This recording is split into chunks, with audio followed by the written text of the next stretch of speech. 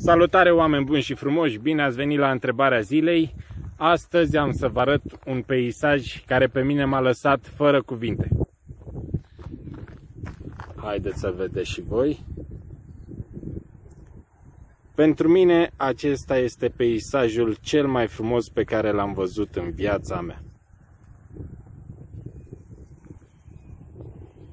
Pur și simplu parcă este dintr-un tablou scos. Parcă o aștept pe Milka să apară de undeva.